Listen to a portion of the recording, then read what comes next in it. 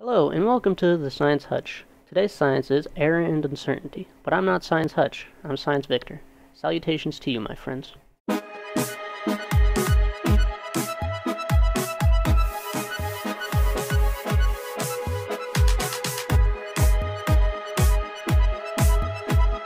may be asking, what is error and uncertainty in data, and where does it come from?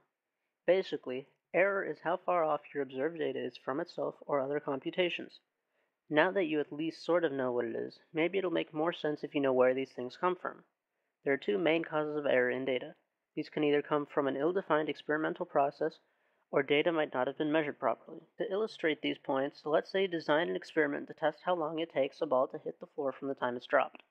Maybe you're trying to discover something about gravity, who knows? Not that important for this discussion. Now you and your group decide that you're going to find your data by dropping a ball from waist height. But what would happen if you had a future NBA All-Star in your group and the shortest person in the class?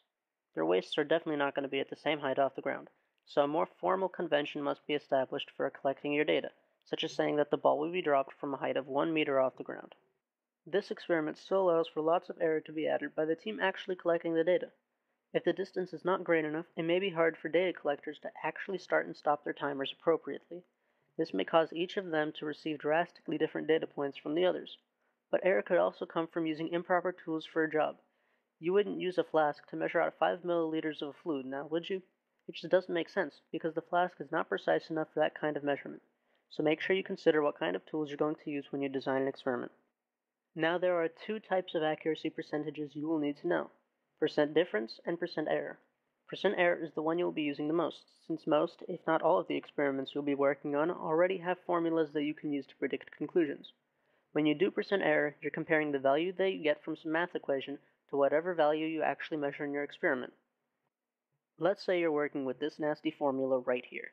Don't worry about solving it for today, but let's just say that you get an experimental value for V2 of 4.75 meters per second. That's all good, but what do you do when you measure the experiment out to say that V2 is 5 meters per second?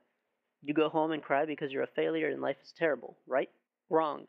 You get to use the percent error equation which looks a lot less nasty than that other garbage we had. It looks like this. So what you would do is plug in the numbers, and you would do some stuff with this handy little tool, and it tells you that there's only 5.263157895% error between your calculations and reality. This means you messed up somewhere, but not enough to be too concerned with. Good job. Seriously though, you should only worry if you have more than 10% error. Percent difference, on the other hand, is a way to measure the uncertainty between two trials of an experiment. You should always have multiple trials for any experiment, of course.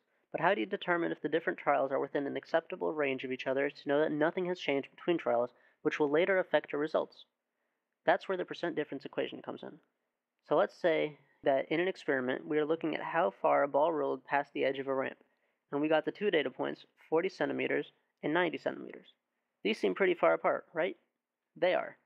When you plug these two points into the percent difference equation, you find out that these two numbers are roughly 66% different from the average of the two numbers.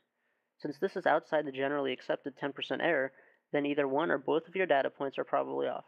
At this point, you should reconsider your experimental procedure and your data collection method, and potentially all of your life choices that got you to this point, and then redo the trials to help you get closer to data that is more accurate, at least to itself. Thank you for watching the Science Hutch's take on error and uncertainty.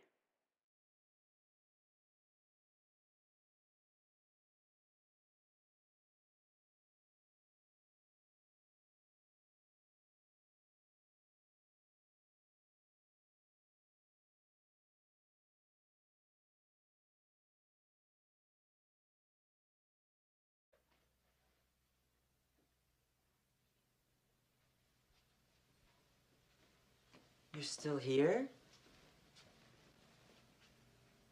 It's over. Go home. Go.